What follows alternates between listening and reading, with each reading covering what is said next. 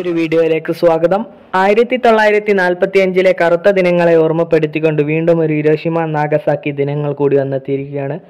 അപ്പോൾ ഇരോഷിമ നാഗസാക്കി ദിനവുമായി ബന്ധപ്പെട്ട് വിദ്യാർത്ഥികൾക്ക് എല്ലാവർക്കും ഉപകാരപ്പെടുന്ന രീതിയിലുള്ളത് അതായത് L P U P high school higher secondary വിദ്യാർത്ഥികൾക്ക് എല്ലാവർക്കും ഉപകാരപ്പെടുന്ന രീതിയിലുള്ള ഒരു ക്വിസ് വീഡിയോ ആണിത്. ബേസിക് ആയിട്ടുള്ള കാര്യങ്ങൾ അടങ്ങിയിട്ടുള്ള ഒരു ക്വിസ് വീഡിയോ ആണിത്. ആവർത്തിച്ച് ചോദിക്കുന്ന ചോദ്യങ്ങൾ വളരെ ഇമ്പോർട്ടന്റ് ആയിട്ടുള്ള ചോദ്യങ്ങളാണ്. അപ്പോൾ നിങ്ങളിത് എവിടെ എഴുതി വെക്കേണ്ട ആവശ്യമൊന്നുമില്ല. ഈ വീഡിയോ ഒരു പ്രാവശ്യം കണ്ടാൽ മനസ്സിലാകും. റിപ്പീറ്റ് ചെയ്ത് പറയുന്നുണ്ട് ആൻസറും ക്വസ്റ്റ്യനൊക്കെ അപ്പോൾ നമുക്ക് വീഡിയോയിലേക്ക് വരാം. നിങ്ങൾ ആദ്യമാണ് ചാനൽ കാണുന്നെങ്കിൽ ഒന്ന് സബ്സ്ക്രൈബ് ചെയ്യുക. ഈ വീഡിയോ ഇഷ്ടപ്പെട്ടാൽ ഒന്ന് ലൈക്ക് ചെയ്യുക. നമുക്ക് വീഡിയോയിലേക്ക് വരാം. ഒന്നാമത്തെ ചോദ്യം. ആദ്യമായി അണുബോംബ് ഉപയോഗിച്ച യുദ്ധം. ആദ്യമായി അണുബോംബ് ഉപയോഗിച്ച യുദ്ധം എന്നാണെന്നാണ് ചോദ്യം. ഉത്തരം രണ്ടാം ലോകമഹായുദ്ധം. രണ്ടാം ലോകമഹായുദ്ധത്തിലാണ് ആദ്യമായി അണുബോംബ് ഉപയോഗിച്ചത്.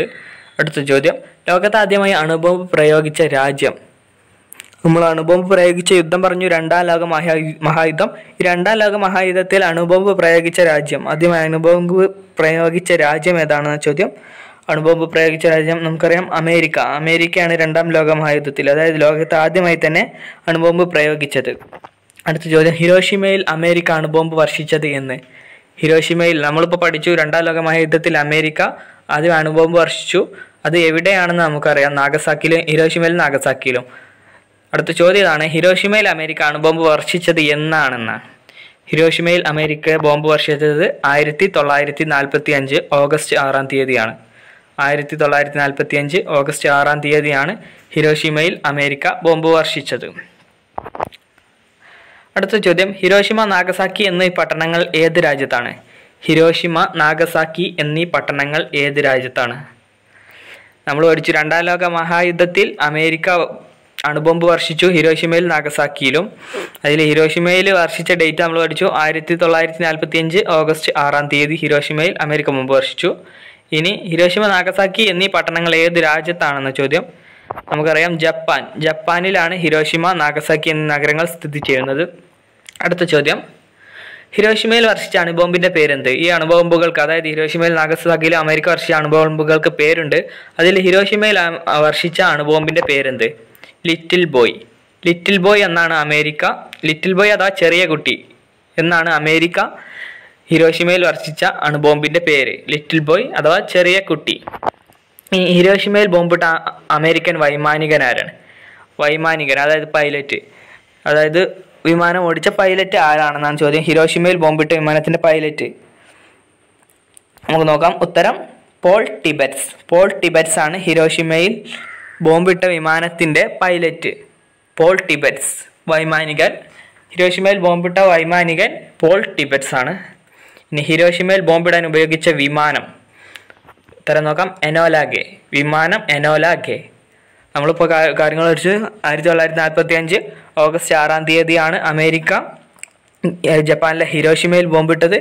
അതിലെ വൈമാനികൻ പൈലറ്റ് പോൾ ടിബറ്റ്സ് ആണ് അതിന്റെ വിമാനത്തിന്റെ പേര് എനോല ഗേ ആണ്. ആ ബോംബിന്റെ പേര് ഹിരോഷിമയിൽ വർഷിച്ച ബോംബിന്റെ പേര് ലിറ്റിൽ ബോയ് അഥവാ ചെറിയ കുട്ടിയാണ്. ഇനി അടുത്ത ചോദ്യം നോക്കാം. നാഗസാക്കിയിൽ ബോംബിട്ടത് എന്നാണ് ഹിരോഷിമയിൽ ബോംബിട്ടത് ആയിരത്തി തൊള്ളായിരത്തി നാൽപ്പത്തി അഞ്ച് ഓഗസ്റ്റ് ആറാം തീയതി ആണെങ്കിൽ നാഗസാക്കിയിൽ ബോംബിട്ടത് മൂന്ന് ദിവസം കഴിഞ്ഞ്. ആയിരത്തി തൊള്ളായിരത്തി നാൽപ്പത്തി അഞ്ച് ഓഗസ്റ്റ് ഒൻപതാം തീയതി. ഓഗസ്റ്റ് ആറാം തീയതി ഹിരോഷിമയിലാണെങ്കിൽ ഓഗസ്റ്റ് ഒമ്പതാം തീയതി നാഗസാക്കിയിൽ. ഉത്തരം ആയിരത്തി തൊള്ളായിരത്തി നാൽപ്പത്തി അഞ്ച് ഓഗസ്റ്റ് ഒമ്പത് നാഗസാക്കിയിൽ ബോംബിട്ടത്. അടുത്തത് നാഗസാക്കിയിൽ അമേരിക്ക വർഷിച്ച ബോംബിന്റെ പേരെന്ത്? ഹിരോഷിമയിൽ അമേരിക്ക വർഷിച്ച ബോംബിന്റെ പേര് നമ്മൾ നോക്കി. എന്തായിരുന്നു? ലിറ്റിൽ ബോയ് എന്നായിരുന്നു. ഇങ്ങനെയാണെങ്കിൽ നാഗസാക്കിയിൽ അമേരിക്ക വർഷിച്ച ബോംബിന്റെ പേര് ഫാറ്റ് മാൻ ഫാറ്റ് മാൻ അഥവാ തടിച്ച മനുഷ്യൻ. ഫാറ്റ് മാൻ അഥവാ തടിച്ച മനുഷ്യൻ എന്നാണ് അമേരിക്ക നാഗസാക്കിയിൽ വർഷിച്ച ബോംബിന്റെ പേര്. അടുത്ത ചോദ്യം.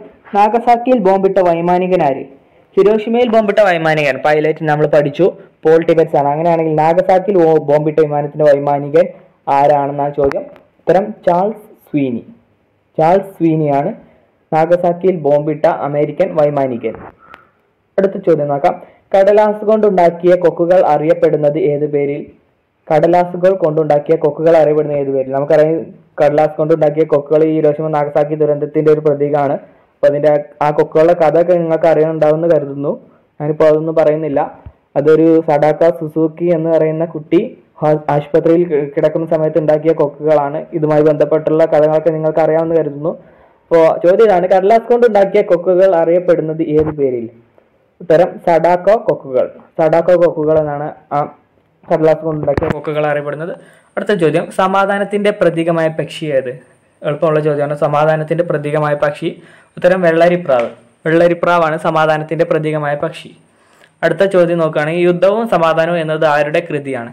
യുദ്ധവും സമാധാനവും എന്നത് ആരുടെ കൃതിയാണ്? ഉത്തരം ലിയോ ടോൾസ്റ്റോയ്. ലിയോ ടോൾസ്റ്റോയുടെ കൃതിയാണ് യുദ്ധവും സമാധാനവും. അടുത്ത ചോദ്യം നോക്കാം. ആറ്റം ബോംബിൽ ഉപയോഗിച്ച സ്ഫോടനാത്മക ഘടകം ഏത്? ആറ്റം ബോംബിൽ ഉപയോഗിച്ച സ്ഫോടനാത്മക ഘടകം ഏതാണെന്ന് ചോദ്യം. ഉത്തരം യുറേനിയമാണ് കറക്റ്റ് ആയിട്ടുള്ള ഉത്തരം യുറേനിയം ഇരുന്നൂറ്റി മുപ്പത്തഞ്ച് യുറേനി യുറേനിയം എന്ന് പറഞ്ഞാൽ ഉത്തരം ശരിയാണ്. ഒന്നുകൂടി കൃത്യത വരണമെങ്കിൽ യുറേനിയം ഇരുന്നൂറ്റി മുപ്പത്തി അഞ്ച് യുറേനിയം ടു തേർട്ടി ഫൈവ് അടുത്തത് ആ സമയത്ത് അമേരിക്കയുടെ പ്രസിഡന്റ്. ആ സമയത്ത് എന്ന് പറയുന്നത് ഈ ഇരോഷിമയിലും നാഗസാക്കിയിലും അമേരിക്ക ബോംബിടുന്ന സമയത്തുള്ള അമേരിക്കയിലെ പ്രസിഡന്റ് ആരാണെന്നാണ് ചോദ്യം?